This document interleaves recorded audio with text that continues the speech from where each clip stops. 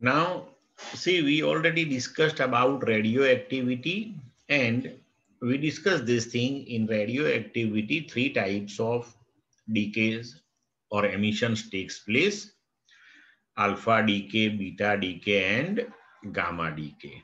Now, we have to discuss all these three decays. First, alpha decay. We know this thing, alpha decay, in that the helium nuclei is emitted from the nucleus. Now, the nucleus, which one is disintegrated, that is known as parent nuclei. And the product nuclei that is known as daughter nuclei. That is known as daughter nuclei. So when emission of alpha particle means helium nuclei takes place at that time, always remember this thing. For helium, Z that is 2, A that is 4, it implies that for daughter nuclei, the atomic number that will be decreased by 2 and atomic mass will be decreased by 4 compared to the parent nuclei. See here, the example is given to you, uranium 90 234. From that when alpha particle is decayed, means when the emission of helium nuclei takes place, then we get thorium nuclei. So for thorium, Z that is 88 and A that is 230. So compared to parent nuclei, the atomic mass is decreased by 4 and atomic number is decreased by 2. So here helium nuclei is emitted. Clear? And in this type of reactions, easily you can understand on left hand side and right hand side, the total atomic number and total atomic mass that should be equal. See here 90 and on right hand side 88 plus 2 and here 234 that is A and on right hand side 230 plus 4 that is A. Symbolically, alpha decay is represented like this. XZA, that is the parent nuclei, and alpha is decayed. Then the daughter nuclei, atomic number that is Z minus 2 and atomic mass number that is A minus 4. And here, if we calculate the mass defect, then mass defect means mass of parent nuclei minus mass of daughter nuclei minus mass of alpha particle. Then that is the mass defect and mass defect into C square. That much energy will be released here and this energy that will be gained by product nuclei in the form of kinetic energy. Here we consider the parent nuclei is initially at rest and Q is greater than zero. That is the exothermic process that we know. Clear to all of you? Example 13.6. We are given the following atomic masses of uranium, thorium, polonium, helium, hydrogen. Now see, no, this one is not polonium. This one is element protactinium. Z is 91. Okay. Calculate the energy released during the alpha decay of U92 238 and B so that U92 238 cannot spontaneously emit a proton. Okay. First, we have to calculate the energy released during alpha decay. Okay. So say here, Q value, that is the energy released. So mass of uranium, then mass of thorium, mass of helium. So using these three masses, we can calculate the mass defect into C square. Okay. Now see here, mass of uranium that is given to you 238.05079 then minus mass of thorium that is 234.04363 minus mass of helium that is 4.00260 this much u into c square. So finally you will get 0.00456 u into c square. But we know this thing. 1 u that is equal to 931.5 MeV energy.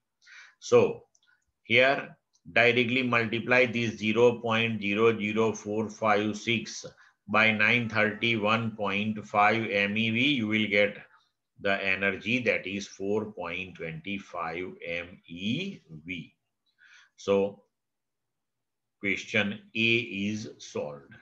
Now B, so that U92-238 cannot spontaneously emit a proton. Now see, when proton is emitted, then we can write the reaction like this. Uranium 92-238, protactinium is produced 91 237 and proton 1H1. So see on both the side, you can check the Z value and a value. Now the Q of this particular process. So mass of uranium minus mass of protactinium minus mass of proton into C square. Substitute the values mass of uranium that is 238.05079 minus mass of protactinium that is 237.05121 minus mass of proton that is 1.00783 this much u into c square. So you will get here minus 0.00825 u into c square. So now multiply this mass in terms of u. So by 931.5 MeV so you will get answer minus 7.68 MeV here, Q value that is negative. It implies that here spontaneous emission of proton is not possible. Here to emit the proton, we have to supply 7.68 MeV energy. Clear to all of you? Now beta decay. So beta decay that is of two types, beta plus and beta minus. Beta plus that is positron and beta minus that is electron. Okay. Positron that is antiparticle of electron except charge. All other characteristics are identical one. Okay. So here when beta decay takes place at that time, atomic mass of the daughter nuclei that will not be changed, but Z will be changed. But here, when beta minus decay takes place, it implies when electron is emitted, then with it, another particle named as antineutrino that is also emitted. And when beta plus decay takes place, so that is the emission of positron. So that is accompanied by positron, sorry, neutrino, right? So here, same, two examples are given to you. This one is for beta minus decay, P1532. Now, here beta minus decay takes place means electron is emitted and with it anti-neutrino that is neutral particle that is emitted. Now see here how this particular process takes place. Now simple question arise in our mind. There is no electron in the nucleus then how from the nucleus electron is emitted. Okay, so actually neutron disintegrates neutron તૂટે છે અહીંયા આગળ and neutron in the nucleus is converted into proton by emitting electron and antineutrino. Clear? So neutron one neutron is destroyed. It implies that now this atomic mass number will be decreased by one, but now it is converted into proton. So again, one nucleon increases, it implies that atomic mass number that will remain same one here. But one number of proton increases, therefore Z will be increased by one. So always remember this thing whenever beta minus decay takes place, then for daughter nuclei, Z will be increased by 1. Then beta plus decay. Here one example is given to you, Na1122 is converted into Ne1022. And plus positron means beta plus plus neutrino. So here what happens actually proton is converted into neutron by emitting positron and neutrino. So proton is converted into neutron. It implies that total number of nucleons that will remain same one. But one proton is decreased here. And therefore, we can say when beta plus decay takes place at that time, Z of the daughter nuclei that will be decreased by 1. Clear to all of you, this one is beta decay. Now gamma decay, okay? See, we already discussed about the atomic structure and in that we studied this thing, atoms have energy levels. So exactly like that, nucleus also have energy levels. But here the difference is this one. Atomic energy levels are of the order of electron volt. But nuclear energy levels are of the order of MeV. Okay. Now here what happens when the disintegration takes place at that time, Suppose the daughter nuclei, that is the stable one. It is not radioactive one. But that daughter nuclei that will be in excited state. And then by emitting the energy in the form of electromagnetic radiation, it will be transited to ground state. And here, due to the energy difference between the energy levels of a nucleus that is of the order of MeV.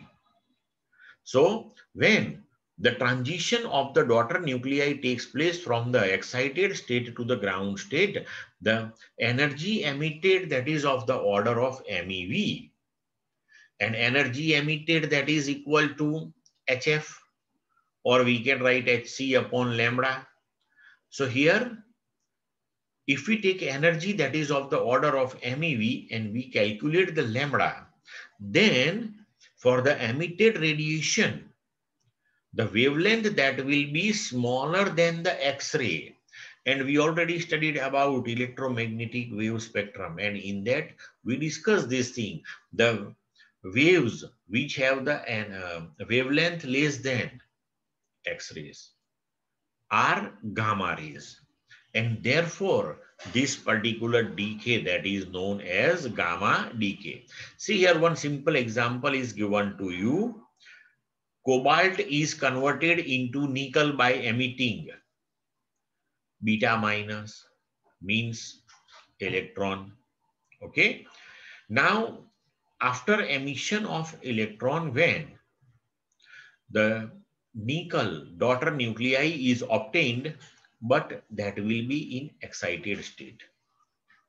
So by two successive emissions, one that is of 1.17 MeV energy and then second transition that is of 1.33 MeV it will be transited to the ground state and then it will be the stable nuclei. When gamma decay takes place at the time, always remember this thing, there will be no change in Z and A of the daughter nuclei. Just it will be transferred from excited states to ground state. Clear to all of you? Now nuclear energy. We already discussed this thing. There are two processes in which the energy is released. One that is fission process, another one that is fusion process. We discussed the binding energy per nucleon versus a graph. So in that we discussed this thing when lighter nuclei fused, combines, and form heavier nuclei. At that time, binding energy per nucleon increases. And when binding energy per nucleon increases, means energy will be released. And this is known as a fusion process. Similarly, in fission process, means when heavy nuclei like uranium is divided into lighter nuclei or after dividing it form lighter nuclei. At that time also the binding energy per nucleon increases and if binding energy per nucleon increases then energy will be released. So in fusion or fission in both the processes, the energy will be released and that particular energy that is called nuclear energy. That is called nuclear energy. Very simple. Clear? Now fission process. Say here the fission of uranium nuclei that is represented in the text. Say uranium is bombarded by neutron. Okay. So when neutron is bombarded on the uranium, so see the reaction, neutron U92-235. So it is converted into intermediate mass fragments Ba56-144 plus Kr3689 and here we get three additional neutrons, right? Another type of reaction is also possible in this one. So when neutron is bombarded on the uranium, then U92-235 is converted into intermediate fragments SB51-133 plus NB41-99 plus here four neutrons are obtained. Or another type of possible reaction that is U92-235 is converted into Xe54-140 plus Sr38-94 plus 2 neutron. And here remember this thing, the energy released per fission of the uranium nuclei that is of the order of approximately 200 MeV. 200 MeV. And in this particular process, how the energy is released, that one example is given to you here. Just for example, if we take any nucleus that is with atomic mass number 240, and suppose it is divided in two fragment of 120, 120. Now suppose we take the binding energy per nucleon for the nucleus with A equal to 240 from that particular graph, then it is 7.6 MeV. But now if we take the binding energy per nucleon for the nucleus, which one is with A equal to 120, then that is 8.5 MeV. So binding energy per nucleon is increased by 0.9 MeV. So when binding energy per nucleon is increased by 0.9 MeV, so 240 into 0.9, this much MeV energy will be released in this particular fission. Okay, this one is just for example. Clear to all of you? So here, this particular energy released that will be in the form of kinetic energy gained by the product nuclei means here neutron will also gain the kinetic energy as well as heat is produced in the surrounding of it. So here see if this particular reaction, suppose we think about this reaction in which four neutrons are produced. Okay. Now these produced neutrons are tremendous energetic, are highly energetic one. So now here what happens, if we think about 235 gram uranium, then in 235 gram uranium, we know this thing 6.02 into 10 raised to 23 nuclei are there. Now one neutron is bombarded, one nuclei is broken up, one nuclear fission takes place. And four neutrons are produced. These are also highly energetic. So now these four will break up another four. And each one produce four, four, four. So 16 will be produced. Those 16 will break up. 16 nuclei. Each one will produce 4, 4, 4. So 64. Then after 64 will be broken by these 64 neutrons. So this is called chain reaction. And if this chain reaction becomes uncontrolled one, then tremendous large amount of energy will be released and that is called nuclear blast or nuclear bomb. And the controlled chain reaction that will give you the continuous production of energy and that particular concept is used in the nuclear reactor to produce the nuclear energy. Clear to all of you? Nuclear reactor. In a nuclear reactor, controlled chain reaction takes place. So here we get continuous production of energy. Now, we already discussed this thing when uranium nuclei is bombarded by neutron. So different possible reactions takes place here. In some reaction, three neutrons are released, in some four neutrons are released, in some two neutrons are released. Actually here, it is considered average value. And suppose we take here the average value of all these then as per mathematical calculation it comes to two and a half neutron per reaction. Okay?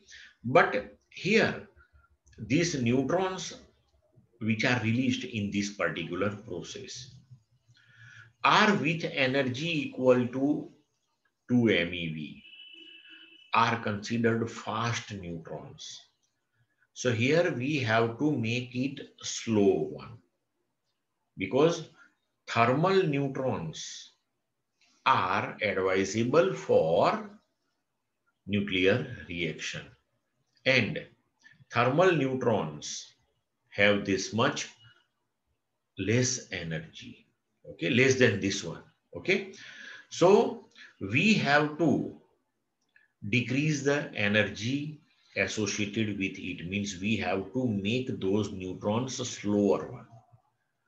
Now, Chadwick actually experimented this thing when neutrons collide with lighter nuclei like hydrogen.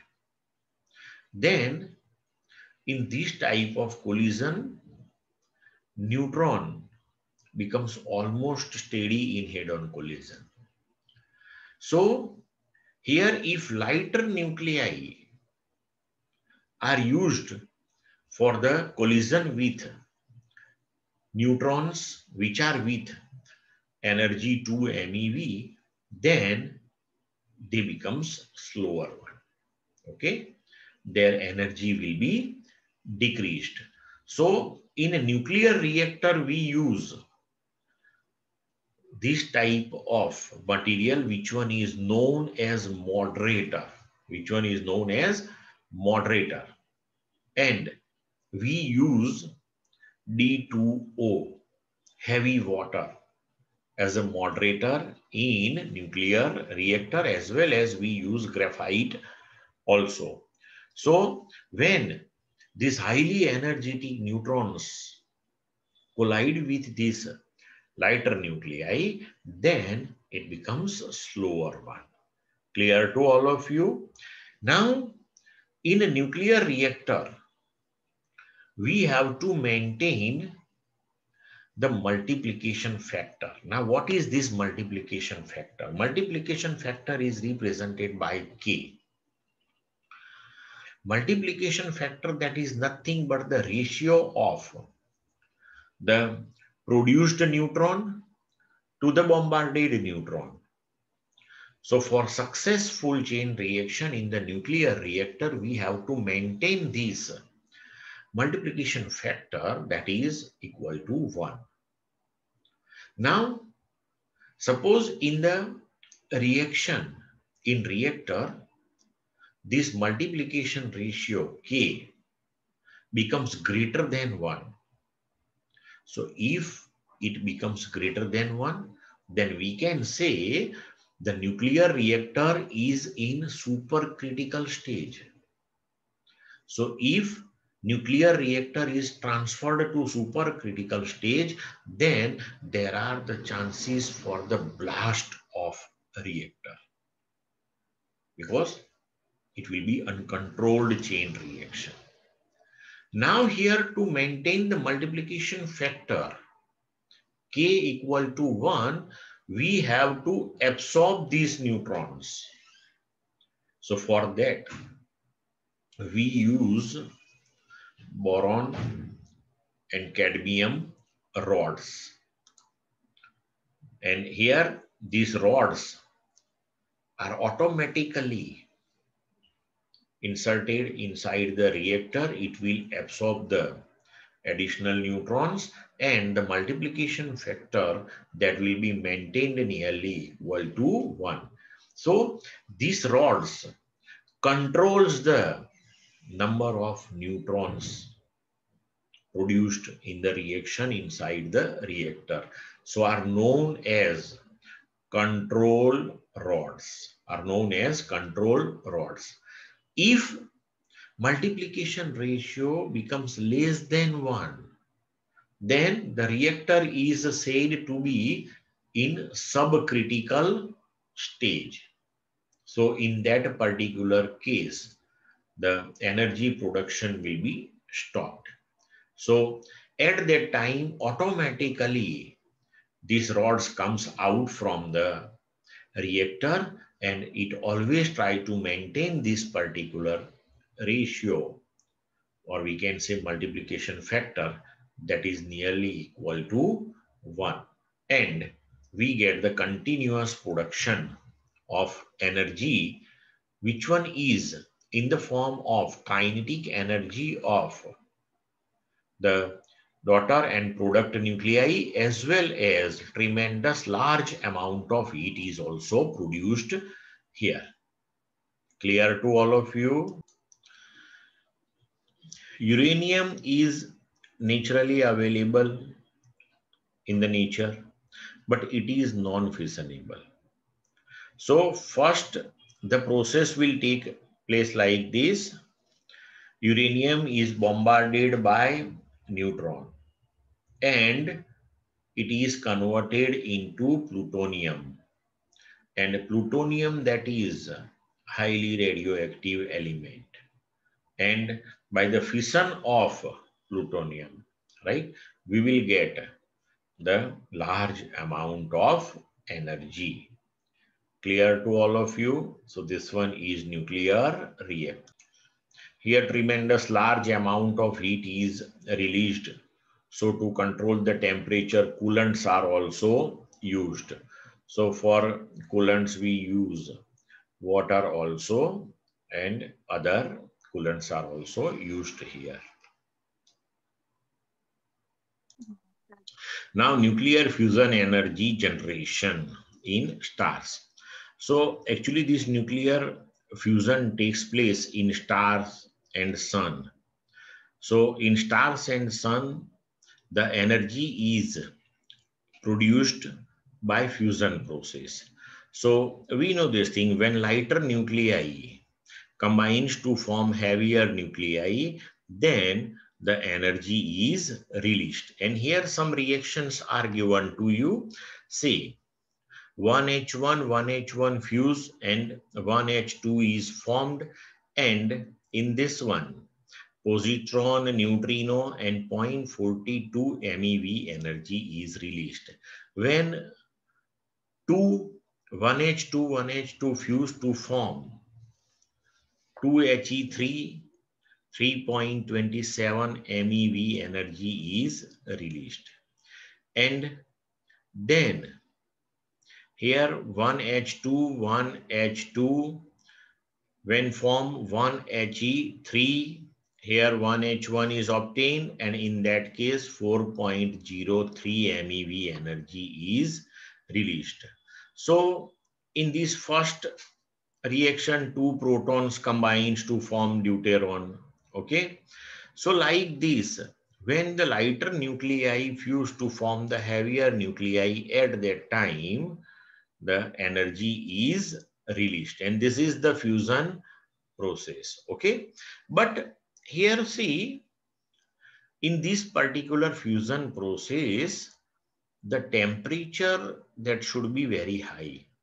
Because when this lighter nuclei suppose we think about the proton proton reaction. So when proton proton try to combine so at that time coulombian repulsive force is there. It implies that this proton proton should reach very close to each other up to the order of Fermi, then nuclear forces will be effective one and they will be fused. So to overcome this Coulombian barrier, we have to provide large temperature to it. And see here, in text it is given to you in fusion process, the required temperature. So to overcome this Coulombian barrier, the required temperature that is approximately of the order of 10 raised to 9 Kelvin, right?